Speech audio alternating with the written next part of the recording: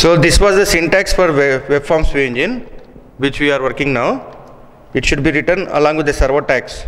Whatever the statements comes comes here between these percentile symbols and uh, this is the open tag and this is the close tag. So this is the syntax for web forms view engine. So let us see an example how to work with it and web forms view engine what it supports it supports only uh, single line statements single line blocks called as single line blocks. And multi line blocks. Single line blocks means coming statements will come along with this. Single line blocks here is nothing but only one statement that means statement 1 terminated with a semicolon like this okay?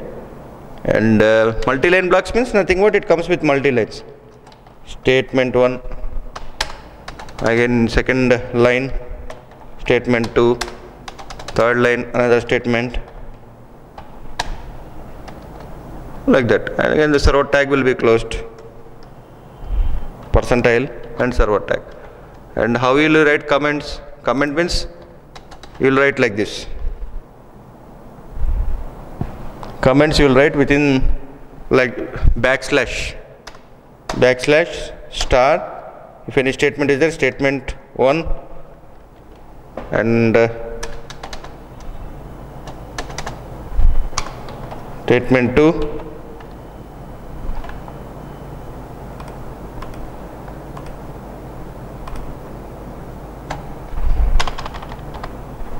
statement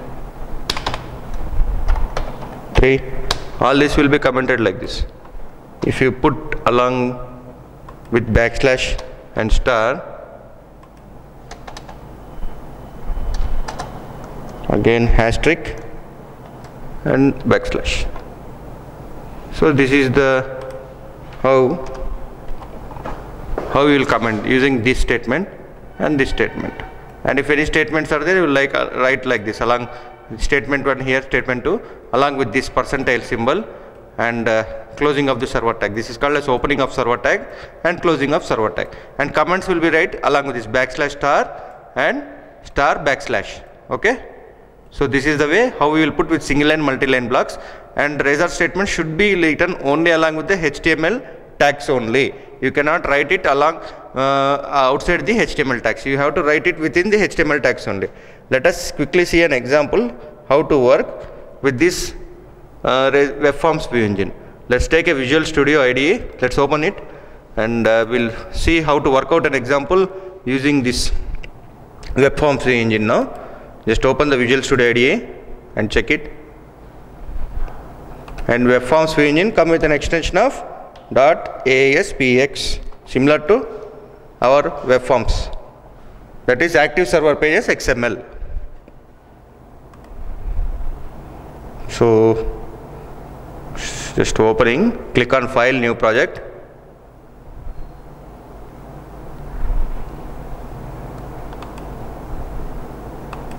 File new project.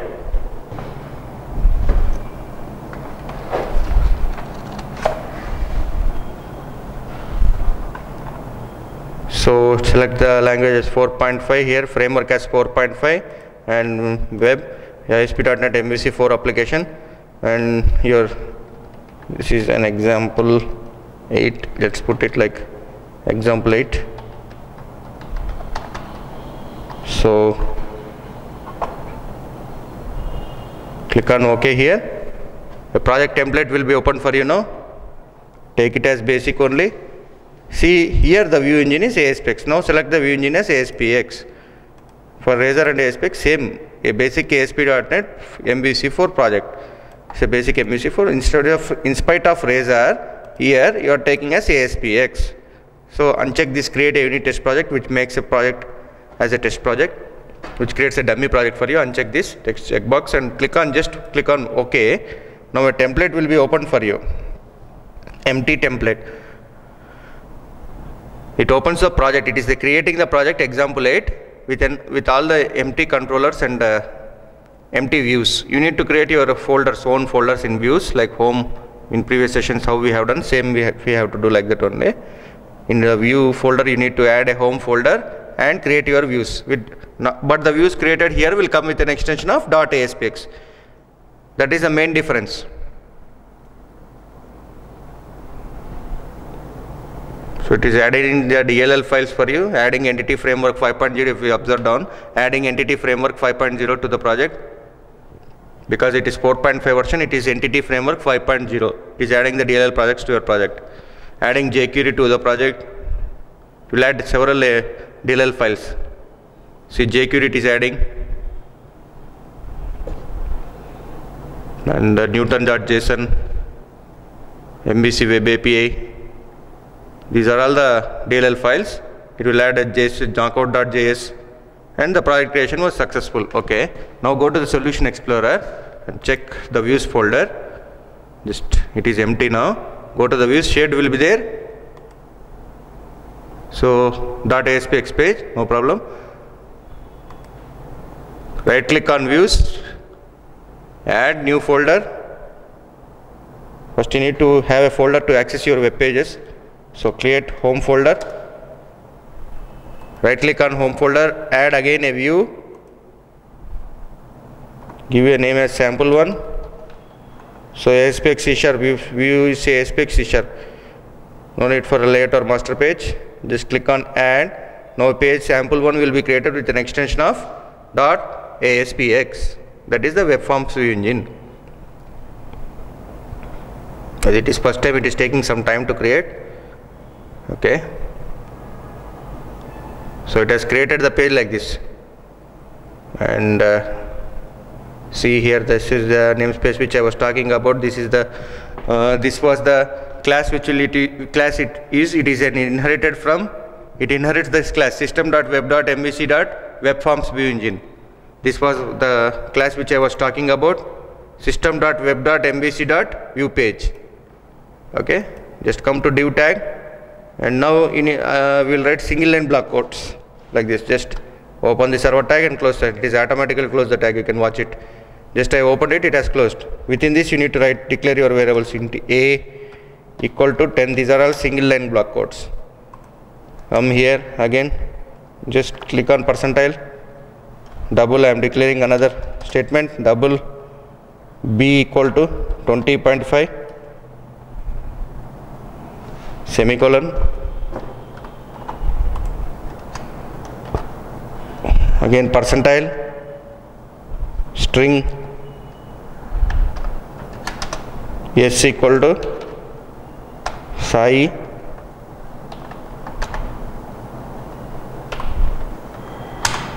This and uh, again I told I, I told response rate this was the difference I was telling at the very first time at the right response of dot write. You need to write, write response dot write for this for printing all these values. How will you print? Just this is the statement written in double quotes. Value of a is need to concatenate that variable plus a.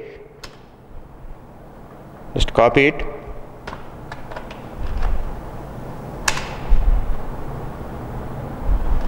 paste it.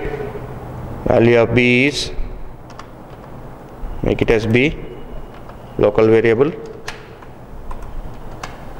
And uh, response dot write value of c is here you will get c. I'm sorry s was there actually. S s is your local variable. So this is how you'll write the code every time you need to write response dot write. Whereas in razor how you used to write? Just you need to put at the rate. And you need to give the variable name at the rate like this. You need to you need to you have to uh, just you need to, you you are writing like this. Value of a is like this you, you used to write there. Here every time you need to write response dot write response dot write that is the thing which is making it heavyweight this is the traditional code how we used to write along with our active server pages response dot write response dot write with our ASP.NET also we used to write response dot write line like that. That is the thing. Okay. So now it prints the values. So we don't have a action method. We need to create a controller first with the same name home here. Add controller as home controller because in views home folder is there we need to create the same name like home home we need to create the controller also with the same name. Give it as home everything is same. You will be having all these options as whatever you are getting in the razor engine you will be getting all these options. Select it as empty mvc controller and click on add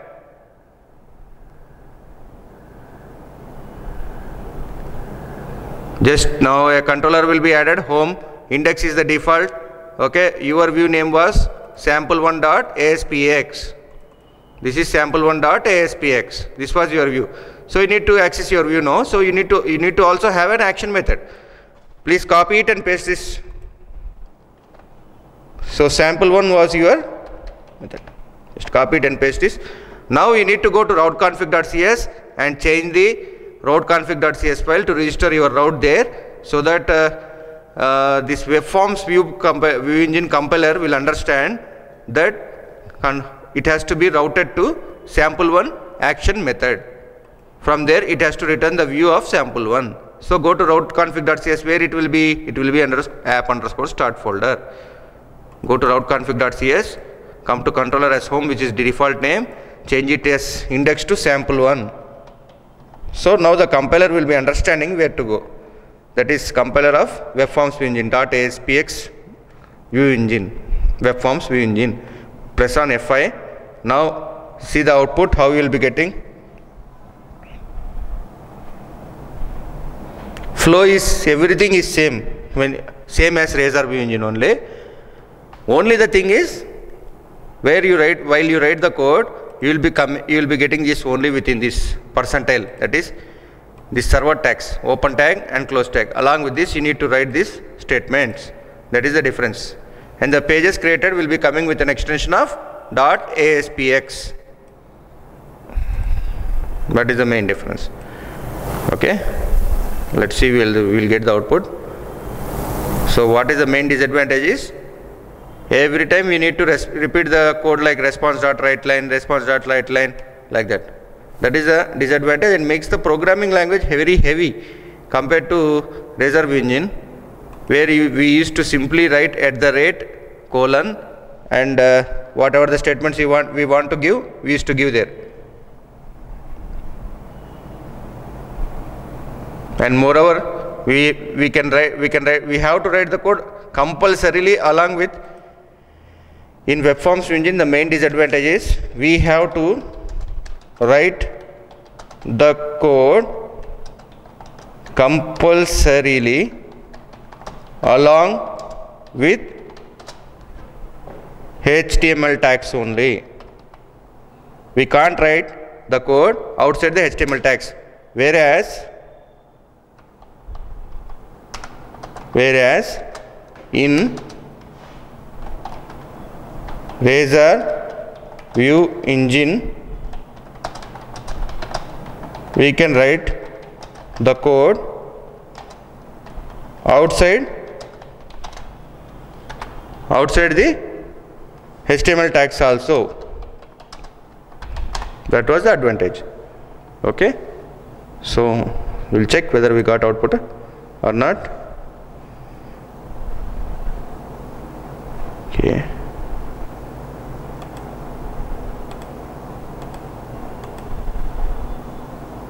let's check it. It has been mapped to some other folder. Just a minute. Let's change this port number here. Click on solution explorer. Properties.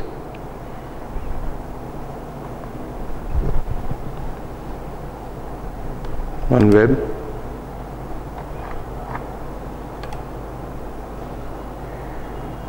1032 make it as 1347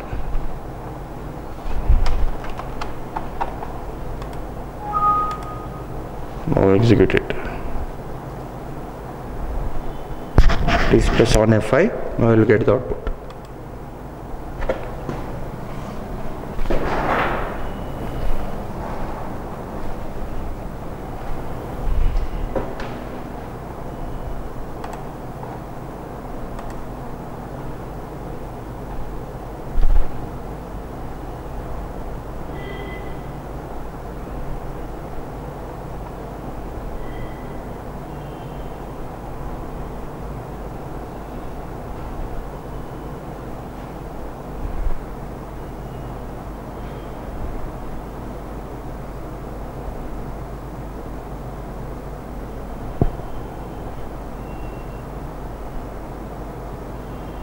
Let's check whether our .aspx file is uh, being executed or not. That is sample1.aspx see you are getting the output. Value of a is 10 value of b is 20 20.5 and value of s is i that is it is displaying all the values. Okay? So our output has got executed now with sample1.aspx this is how we work with web forms engine okay? This is how we work with the web forms engine that is the main advantage. Uh, disadvantage that every time we will write the code along with response dot write response dot write this has this increase the uh, weightage of the program. So it is very advantage the code along with the razor engine. But this was the traditional programming which was introduced along with the MVC 1.0 we, we used to write the code like this only with MVC 1.0 versions. Okay so this is how we worked uh, using uh, view engine. There is no much need to discuss about this web forms view engine also because in real time you will be using only the razor view engine. And we also discuss the differences between razor view engine and web forms view engine. Now and in again tomorrow session we will see how to work with view page class view page class and what is a view page class and uh, how to transfer the data from controller to the view. We have seen already, but uh, I'll, I'll tell you what is a, we have seen already how to pass the data from controller to the view. We have seen already the data to how to pass from controller to view, but uh, I'll detailedly explain you what is a view page class and uh, how to pass data from controller to view. In yesterday's class I told you how to pass the data from controller to view by using view bag and uh, model. But I will explain you what is a view data in next class. I will explain you what is a view data what is a view data and uh, what is a view bag, how it carries the data from controller to view and what is a temp data. These are the three different ways how we can pass the data from controller to views. You can also pass the data from controller to view using view, view bag and uh, model. We have just seen the view bag uh, in previous class and uh, we have also seen a small program how to compile with model, how to uh, how the controller gets the data and goes to the model and gets the data. Those were the static values we worked with. We can also work with the dynamic values. While we go to entity data model, we will find we only worked with the static values. That is the fixed values we have given in the properties. We can also work with the dynamic values. That is getting the data from the database. That is called as dynamic. We can we can work on the model at that time while we discuss the model. As of now, I'll discuss how what is a view data, view bag, and temp data. These are the three ways how we can pass the data from controller to the view. In next session, we'll see, see it detailedly.